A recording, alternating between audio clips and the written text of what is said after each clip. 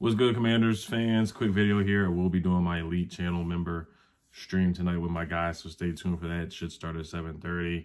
Uh, my guys, Warpath, Kenny Man DMV, DC Bay.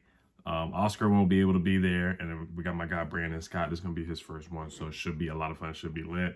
Um, so, yeah, I'm going to talk about the stadium real quick. I'll just read some of John Keim's article and react to it. Um, it's going to be possibly in Woodbridge. So actually, Sam Fortier came up with some information uh, last night saying that they didn't purchase the land. It's a lease to it's or it's an option to purchase. That's what they did. So they didn't fully um, buy the land. So you know, a lot of people are thinking that they already purchased the land that is automatically going to be in Woodbridge. That's not the case just yet. You know, he says Sam Fortier said basically the team seems to have a pay have paid an unknown certainly smaller sum to have the rights to the $100 million, 200 acre deal for an unknown window of time. So the report, the original report was $100 million or $200 million that they bought that land in Woodbridge. So that's not the case. They have a lease or option to purchase uh, agreement as of as of right now. They still are looking around. It could be PG County. It could be a lot of people are saying they want RFK Stadium in DC. They want to get that area, but most likely it's going to be in Virginia. I'm just I'm just convinced it's going to be in Virginia. They just they have land out there. They want to build stuff around it. You know, it's going to be rough for traffic. I'm from PG County, Maryland. I would like to see it in D.C. Out of all the three, out of Maryland, D.C., Virginia, I'd rather see it in D.C. Of course, we are the Washington Commanders, so you would want it to be in that area and this just that history, you know. But being in Virginia, it's not ideal. Traffic is awful. Um, just Virginia, I don't have a problem with Virginia. You know, the drivers in Virginia are just terrible. Maryland drivers are bad too, but Virginia is just terrible. The traffic is in Virginia is bad too. LPG County, Landover was bad too. Landover, there's not much out there to be honest. You know, I'm, I'm from PG County, so I know Landover. I know that area.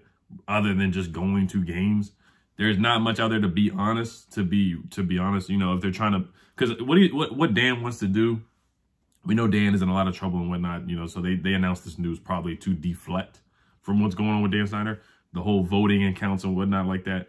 Um, but yeah, he wants to have things around it. You watch Hard Knocks when they had the uh, drone fly through the Cowboys um, facility in the area. They had all the nice shops and retail areas and places to shop. That's that's what they want to do, and that's what it should be like. It should be a nice area like that. So I, I get I get why they want to do it out Woodbridge. You know, I, I, I get why they want to do it in the area. Can they do something like that in DC? They possibly could. They possibly could. A lot of people say MGM, the National Harbor. I just don't see that area being I don't think that's possible seeing that area down in um, Oxon Hill. I don't see that being possible like at all. Um, so that's the news on that. I'll, I'll read a little bit by, about John Keim, what he said. So according to the source from dollars, the purchase, the commanders paid a little more than $100 million. So we found out to see that that's not true from Sam Fortier. Um, the deal was completed last week, but has not been filed yet with Prince William County, the site of the land. Um, there's a chance the franchise will buy another 65 to 70 acres at a site that is approximately 23 miles away from Washington, D.C. It would be right off an exit of I-95 Woodbridge, Virginia. Be approximately 80 miles from Richmond. So, yeah, that's pretty far down. Um, the commanders like the site because of how it can be developed. According to a source, their plans is to include a 60,000 seat dome stadium. I do like that. I do like. I don't care about the cold and the elements. We're not the Packers. We're not one of those teams that are known for winning in snow, winning in cold climate. We're just not, we're not known for that. We're not known for winning in any climate, but it would be more appealing and better. I don't like sitting in the snow. I'm not a cold person. I was born in, in the summertime and I don't, I'm, I'm a, I'm a warm weather guy. I'd rather be in the warm weather rather than being in the cold, freezing. We're not the Bills. We're not, we're not one of those teams like that that like to be in the cold and it's, it's snowing outside. We don't have any history like that. Maybe back in the 80s, but we haven't had that in like, what, 20 some years? Um, so yeah, I, would rather be in, in, in, the warm time because now I can be, I don't, I'm not concerned about going to a December game anymore. If it's cold as a brick outside, it's 30 degrees, at least I know I'm going inside where it can be warm. And I hate freezing and being outside for three and a half hours. These games are three, three and a half hours. Man. It's a long time to be in the cold. It's a long time to be in the cold. Um, and you don't have to worry about the heated benches anymore. That whole bit. Um, the seats, uh, and then 60,000 dome, so it can be used throughout the year. They want to do other stuff, concerts. You know, I know they have other concerts out there and stuff like that at FedEx Field, as well as the team's practice facility and amphitheater that seats between 15,000 to and 20,000 people. Small indoor music arena, high-end retail shops, bars and restaurants, and residential living. The roof would be translucent, and the stadium facade could change colors. That's that's that's pretty cool. That is cool. Burgundy and gold. I saw the picture. That is pretty cool. Translucent roof. That is cool. I've seen that. Now I remember a couple years ago they said they wanted to have a moat around the stadium, like a little river. I don't think that's gonna happen, but that that was pretty funny too. Uh, it would be white during the day and, for example, burgundy at night. That that is pretty cool. That's pretty cool. Uh, Washington wants to leave FedEx Field, which was built by former owner Jack Kent Cooke. Um, before they agree to the, to a site, the team needs to find out how much money the state and Prince William County are willing to commit before finalizing plans to build. Uh, what else? He said the team would like to return to the to DC at RFK Stadium site, their home from 1961 to 1996, but because it's on federal land, numerous governmental hurdles currently make that a long shot. All right. Um, the Commanders will receive 350 million dollars from Virginia. So I mean, if they get that money, man, it's it's, it's gonna be in. It's, it's like a 99 percent chance, in my opinion, it's gonna be Virginia. So that's just my opinion on it.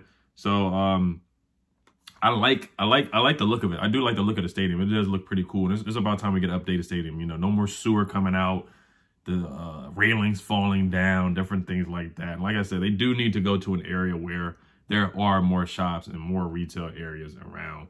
Um, no disrespect to Landover. Been out there many many times been out that area and, and you know i think it, it is time to get to an area where it's more there's like a closed down circuit city right there where people parked last time i saw you the circuit city's closed down it's just not much out there to be honest it is what it is on that um so terry mclaurin and the com- commanders i won't say commanders because we did sign a, a panther a former panther i'm gonna get to him real quick but Nicki Jhabvala said that the Commanders and Terry McLaurin are far away. They're far, they're far apart from making a deal. So are they waiting until June 1st, which is not far away for Landon Collins, for that money to come off the books and then they make a deal? But Terry McLaurin, he's not working out. He's not. He said that, but this is not new news. He's not working out. He said he wasn't going to work on the other other uh, workouts that were like two or three weeks ago. So he's going to set out these OTAs. They had OTAs yesterday. They're going to have OTAs today and OTAs tomorrow. Then they have OTAs again, and May, uh, I want to say May 31st to June 2nd. So he, if they don't get a deal done, he's going to keep sitting out. Now, the thing about Terry is his personality is different than a Deebo Samuel or AJ Brown or Tyreek Hill or a lot of the receivers that when they want or you know they they want money, Davante Adams. When they want money, they will request it or Stefon Diggs. You know they'll take the they'll take the um, bio off of their Twitter, their Instagram. They'll get upset. They'll subtweet. And it's not just wide receivers. We've seen other positions do this. Look at Kyler Murray. What's going on with him? He's not going to OTAs. You know, he's he's taking stuff down from his profile pic or whatever, Instagram or whatnot. You know, I don't see Terry McLaurin as that kind of guy who gets up, you know, who'll get upset and do that, you know. So that's that's the that's the good thing that we have going on with Terry. And I know Ron has that slow, methodical, just like DeAngelo Hall said, he has that slow, old school approach. And I'm not getting worried, but, you know, you got to pay the guy. So I, I, guess they're waiting for Landon Collins money to come with the books. If they do wait longer than that and Terry McLaurin's not participating in any OTAs, even though, even the mandatory ones, he's skipping those, that's when the chatter will get louder. That's when other teams, like you see Chiefs fans in the mentions all time about, oh, yeah, let's go get Terry. They're monitoring, they're monitoring the situation as they should. So um, that's all I got on that. So I, I, think a deal will get done. So I'm not panicking or anything like that. But it is something to keep an eye on. Definitely keep your eyes wide open on that. All right. Lastly, so the commander signed Aaron Monteiro. uh, putting him up. He has not played in a regular season. He's played in preseason games. He was not coached by Ron Rivera. He was coached by Matt Rhule. Um, six foot six, 315 pounds, 25 years old, 25 years old, went to Boston College. So you look at the snaps that he took in preseason per PFF. He took snaps at three positions in the 2021 preseason 32 snaps at right tackle, 29 snaps at right guard, and five at left tackle. Now, remember the, the guy, Drew Himmelman, the tackle that they claimed from the Broncos, he um he he got waived with an injury designation, so he or with a physical failed physical designation. So they had to pick up another guy. This is a depth signing. You know, can John can John Matsko get the best out of him? Will he have to play? He's going to be behind Sam Cosmi, behind Leno, behind Cornelius Lucas, behind Chris Paul. So he's going to be like the third or fourth guy on the depth chart. Will he make the roster? Is the question. Is he a camp body? Um, he was third team all AC, all AAC, all, all ACC at Boston College as well. So some of this counter report is that he was very rigid in his movement, and this caused him to get beaten off the block on more than one occasion. So we'll see. I mean, he's more of a practice squad. Like I said, he's never played in a regular season game.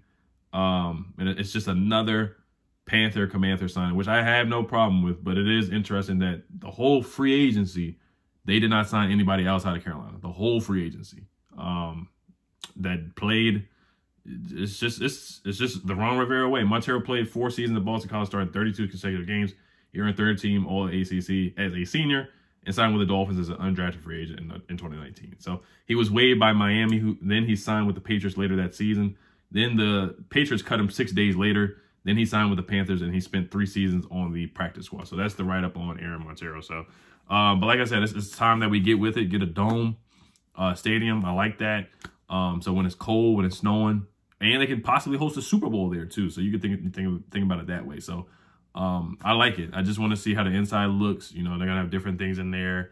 Another, gonna, they're probably gonna have some gambling in there. That's what they really want. They're gonna have some stuff like that, kind of like what uh, the Wizards have in Capital One Arena. I know they're gonna love that. Uh, no, Vegas, they got a club in there from what I heard, so they could do something like that in DC. I don't know if you want to have a club in there, to be honest. this Is you know the people in DC, man, and PG it, it, can get a little real. So I don't know if you want to have a, have a club in there, to be honest. But uh, all right, you guys, Hail and Commanders. Peace.